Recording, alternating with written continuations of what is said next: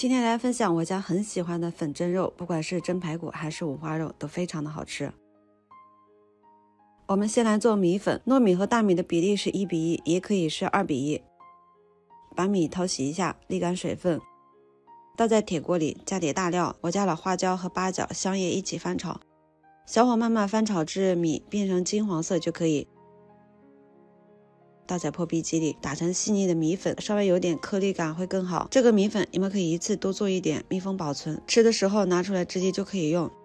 再来准备排骨或者是五花肉，把排骨冷水浸泡两个小时以上，这样把血水泡出来，捞出来把水分沥干，再来腌肉。肉里加入姜丝、白胡椒粉、生抽、老抽、盐、蚝油，再来一到两勺这个料汁，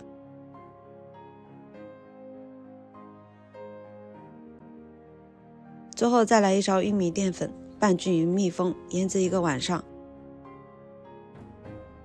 再把我们之前做好的米粉倒出来，分次少量的加点清水进去。最后米粉是这样，松开就会散掉，这样的程度就可以了。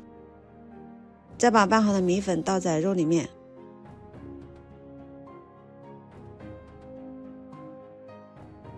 肉均匀的裹上一层米粉就可以，均匀的码在盘子里。开水上锅蒸，大约蒸五十分钟以上。出锅撒点葱花就可以了，这样蒸出来的粉蒸肉非常的香。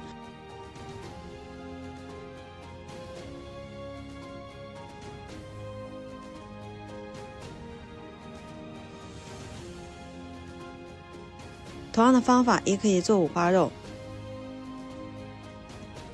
也可以把肉片裹好米粉，放在保鲜袋里密封冷冻保存，吃的时候蒸一蒸，非常的方便。五花肉肥瘦相间，口感会更好。喜欢吃蒸菜的可以在家试试。